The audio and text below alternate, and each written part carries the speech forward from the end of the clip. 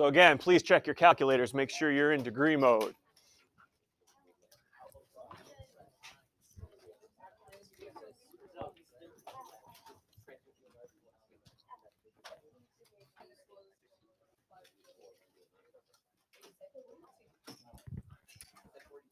All right, we are still going to set up.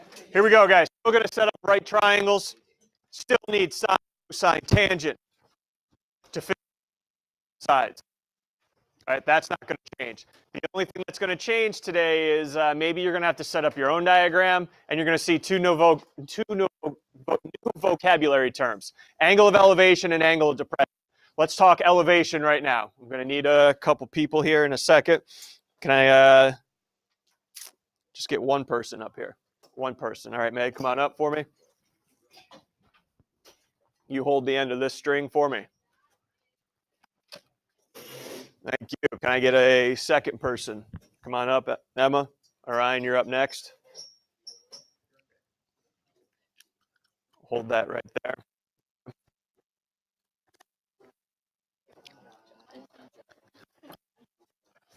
Come on up. This one too. All right. All right, there you go. Uh, you're going to have to raise and lower this. All right. Okay, let's talk here. Angle of elevation. All right. It is from the, we say ground up or eyesight up. All right.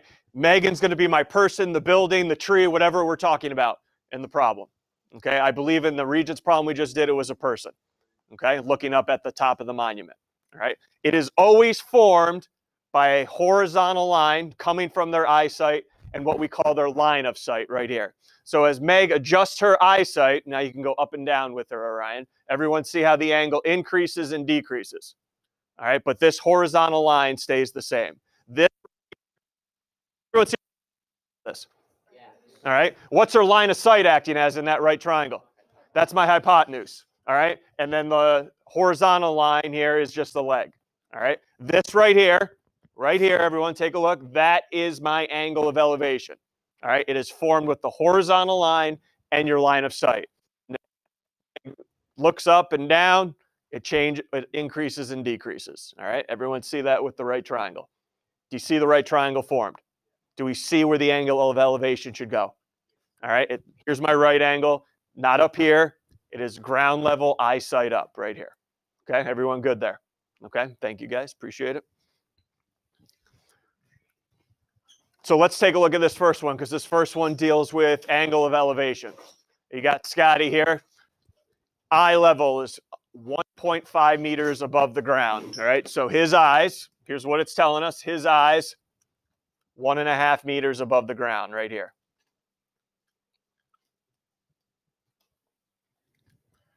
And he is standing 30 meters from the tree. Can we put a 30 somewhere? He is standing 30 meters from the tree.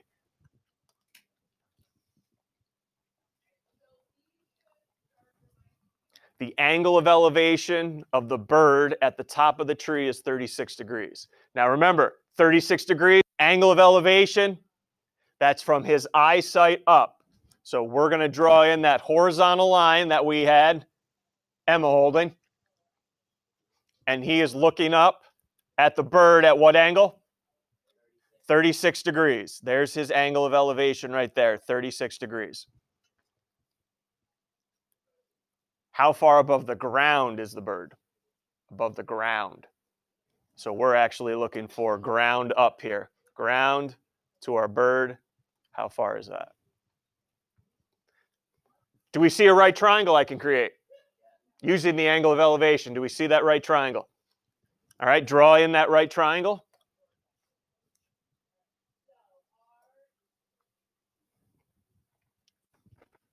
Am I going to find, using this right triangle, am I going to find that distance from the ground to the bird right now? No, I can find a partial distance though. I can find this one right here. Ooh, I'm going to need a side though. If I'm going to use sine, cosine, tangent, I'm going to have to start with the side. And all I gave you was 36 degrees angle of elevation. Anything else in this diagram help you find a side? Al? Yep, that 30 right here is also the 30 of this leg. And now you guys, I'm not going to call this X. I've already called that one X, so I'll call that Y. Now you guys can help me find that distance. So does everyone see how this triangle was created? Angle of elevation, eyesight looking up from the horizontal line. All right, what sides am I given? Now I'm going to turn this over to you. Uh, 14, opposite adjacent hypotenuse. What's my y? That's opposite. And how about the 30? That's adjacent. So if you guys need to write out SOHCAHTOA again, for Thursday's quiz, I'm not going to give it to you. And yes, I'll be covering up the backboard there, so that will not be visible to anybody. All right, so SOHCAHTOA, if I have the opposite and adjacent side, you want me to use which one? 28, which one? Tangent, yep. So tangent, what's my angle measurement here? Uh, 18, angle measurement. Tangent of 36 equal to, make sure we put the numbers in the right ratio, opposite over adjacent. Uh, 10, what do you got? Opposite over adjacent. Okay, I have y, that's fine, over 30. And hopefully hasn't been too long on break. We solve these by cross multiplying, put this over 1. Cross multiply. Will this be my final answer? I'm going to try to drive this home. I ask you that. I don't want you to do what? Round anything yet. Do not round anything because this is not going to be our final answer.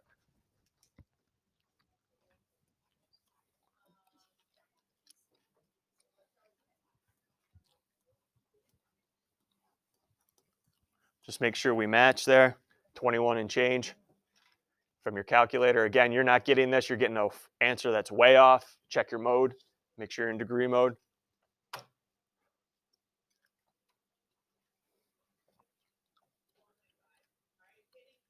Not our final answer.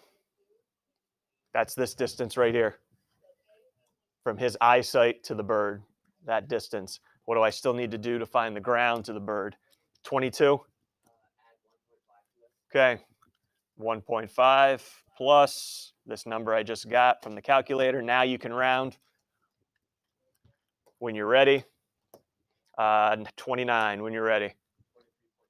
23.3 meters. Nearest tenth, how far? I didn't give. What do you guys have? Nearest tenth on yours? Okay. All right, any issue with that before I go on to the next type of uh, angle? Angle of elevation, looking straight forward, looking up. I don't need any demonstrators for the next one, by the way, but we all good. Okay, next one now. I have angle of elevation. And then I have depression. Now you're looking not up at something, you're looking down. You're on the top of the tree, top of the building, wherever, looking down. But there's this is a unique, unique angle here because you would think, hey, you would think, oh, well, hey, if this one was elevation, this one right here has got to be depression. And the answer is no, it's not.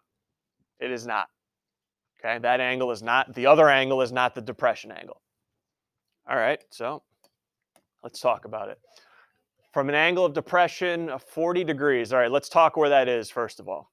All right, looking down, so he's looking down on his friend here. Angle of depression is 40. 40, just like elevation, remember it was from the horizontal looking up. Well, this is also depression from a horizontal line looking down. This right here is your angle of depression. It's actually outside the triangle. So in a second, I'm going to have you guys try to figure out a way or ways to get it inside. All right? So angle of depression, formed by the horizontal line looking down. All right, it's not the other angle inside the side of the triangle. It's formed by the horizontal line looking down. Uh, what else we got? Yep, the rooftop is 16 meters from the ground. And John's eye level is 1.8 meters from the rooftop. So, so 1.8 from here to here. A little bigger, but What's the distance between John's friend and the building? Hmm.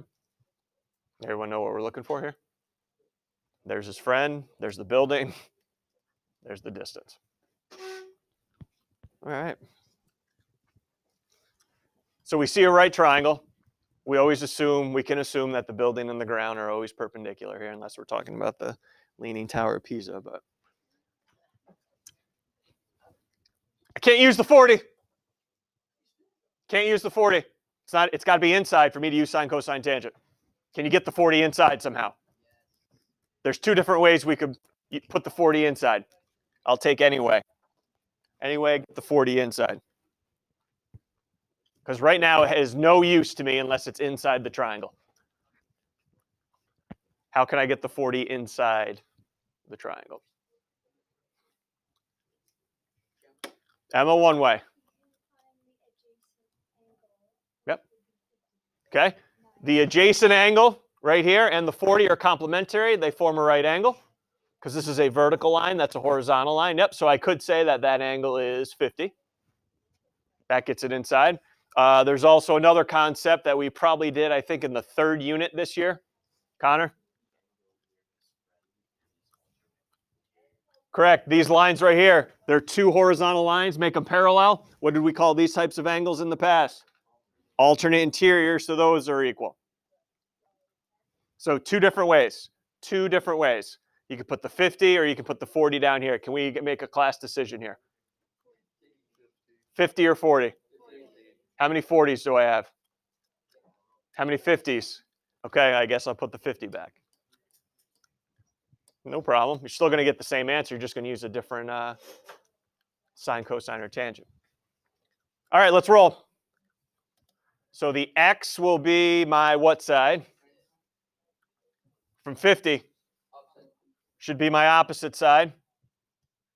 And this leg right here, I don't know how long it is yet. We'll find that out, but this will be my adjacent. So again, just like we did in problem one, we'll use tangent. Tangent of 50. Opposite side x. What are we going to put for the adjacent side? Not 16. 17.8. And again, some of you not clear on how we got that. We're taking that 16 plus the eye level, 1.8, because that's where the angle of depression is coming from. It's not coming from his feet.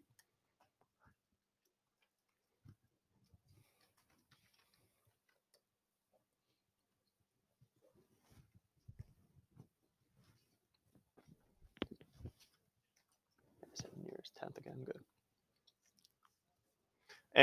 And tenth one more time. 30.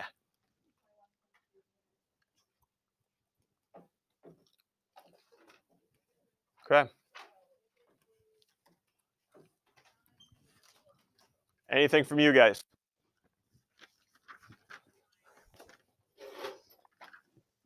Everyone okay on depression versus elevation here? Because I'm going to let you do the next one in your groups. Depression versus elevation. We all right?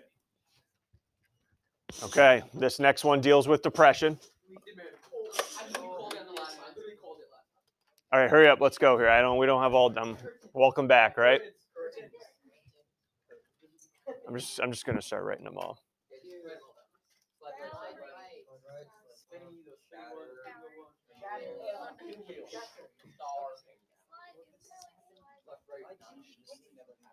Okay. Meet them at again. Is that the one that Vegas says is like everybody? Genie, Prince Girl, it's gonna rise you left. It's gonna be cute. Let's go next one. She has there's only slide. It's gonna be. It's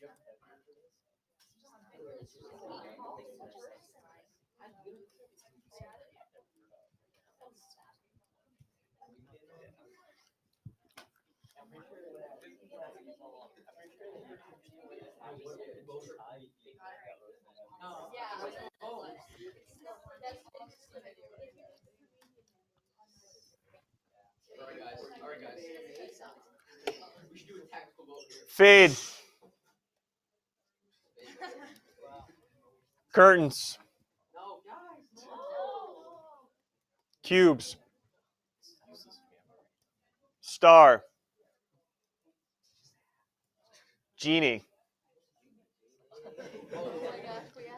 Slide right. Pinwheels. Okay.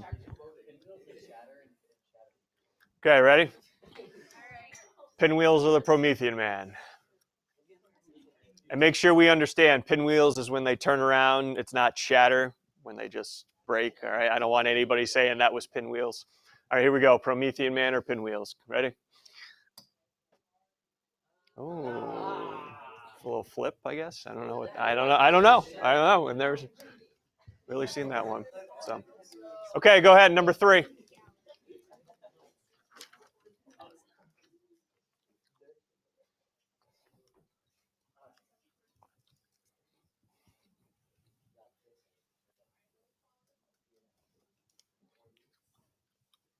Again, the depression outside. So draw your horizontal line across from the top of the lighthouse. Once you have the picture, you're good to go. That picture's the toughest.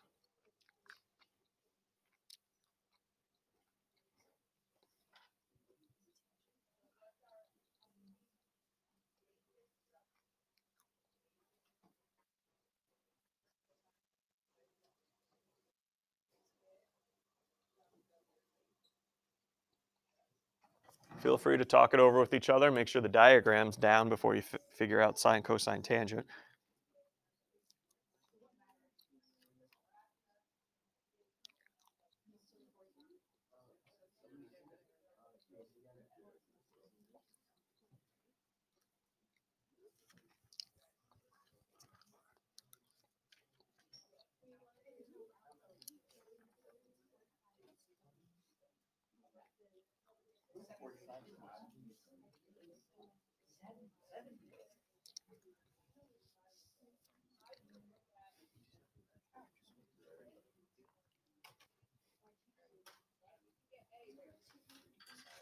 Thank you.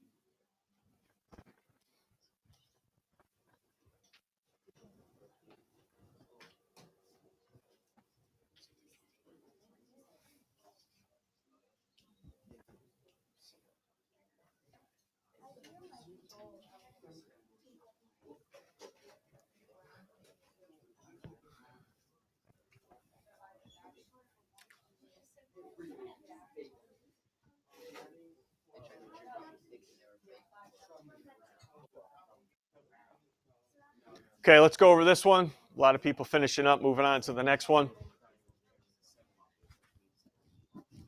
All righty, here we go.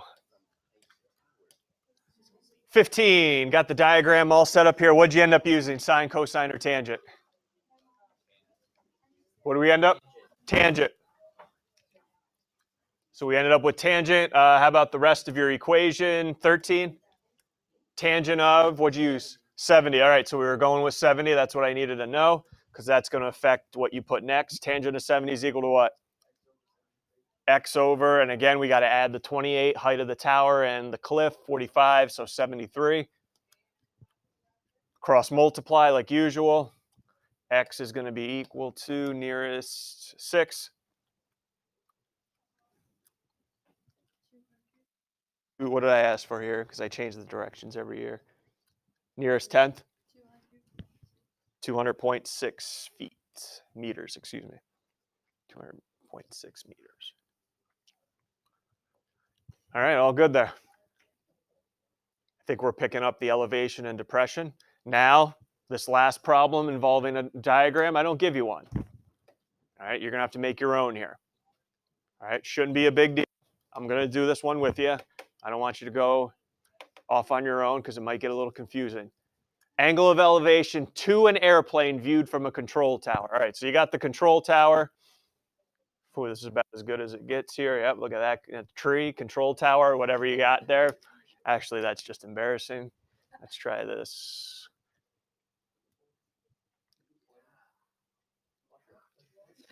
The control tower.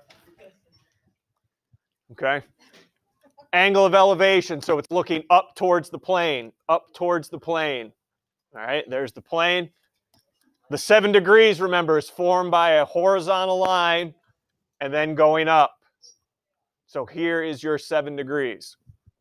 Do I need to see a control tower in a plane? No, if you just want to make a darn right triangle and put the seven degrees there, I'm fine. The tower is 200 feet high. All right, so that's 200 feet high. And the altitude of the plane, now altitude, this is why I wanted to do it with you, is directly, so if you're standing below the plane looking directly up at it, that altitude is 5,200. So we're talking, I'll do the right triangle here, but the altitude, get rid of this extra stuff. So when it says the altitude, we're talking ground to the plane, 5,200 feet. Okay, with the altitude, 5,200 feet, ground to the plane. And we're looking for how far away from the control tower How far away from the control tower is the airplane? Yep.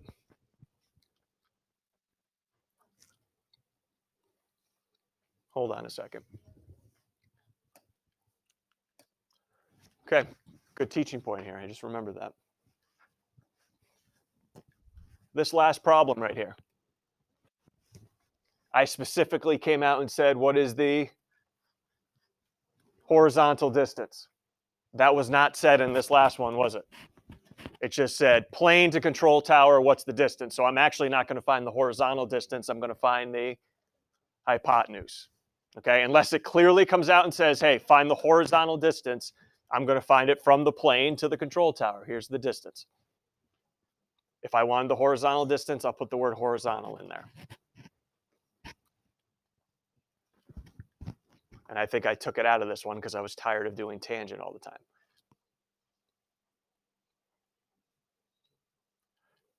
What's another side of this right triangle I can put in? Because I need a side. I got X, but I need an actual length here. What do you got, Meg? Um, um, Why 5,000?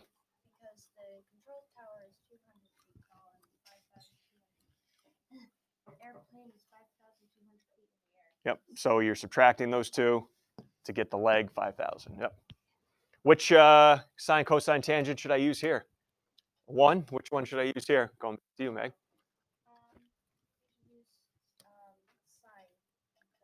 I have opposite and I have, yep. So we're going to do sine of 7 equals opposite 5,000 over x. A little bit different. It's just not cross multiply and done. Hopefully you realize that. Just not cross multiply and done.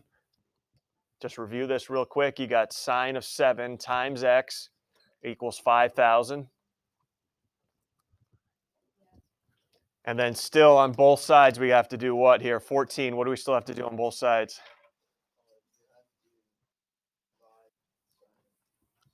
Yep. And again, I just put that in a fraction template, everybody. 5,000 divided by sine of 7.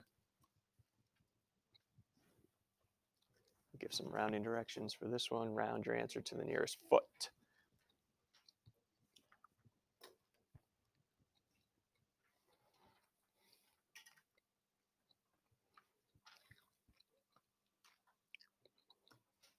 Nearest foot when you're ready. Eight when you're ready, nearest foot.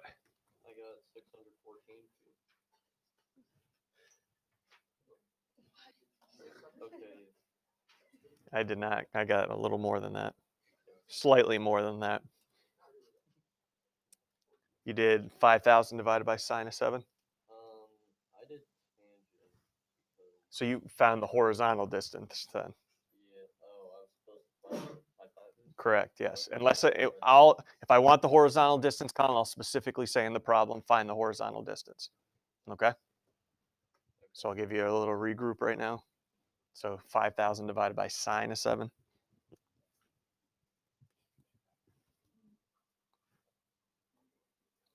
I got uh four hundred uh forty one thousand twenty uh twenty eight feet. You got it. There we go.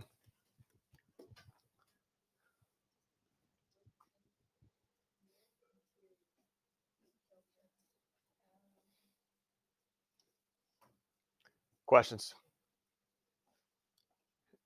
All right, and then we have uh, a little quadrilateral action. Rhombus, A, B, C, D. Let's get it drawn. How do we label it again? Review, review. How do I label? Clockwise or counterclockwise? Rhombus, rhombus, rhombus. The measure of the diagonal AC is 80. Got it. So that diagonal is 80. BAC 42. Okay. BAC 42 degrees. What's the length of BD, the other diagonal? Well, first of all, are they congruent in a rhombus? No, let's stop right there. The answer is not going to be 40, 40 to uh, 80. All right. But we can use some properties. Ready? Hey, hey, ready, ready. What just happened to AC? What just happened to AC? It got bisected. So I got 40 and 40 now. And I heard some people chiming in too. What do I know about those two diagonals? Perpendicular, that's where I get the right angle from. A plan, please, define the length of the entire diagonal BD. Anybody see right triangles in this diagram? Yeah, so do I. I'll just take this one.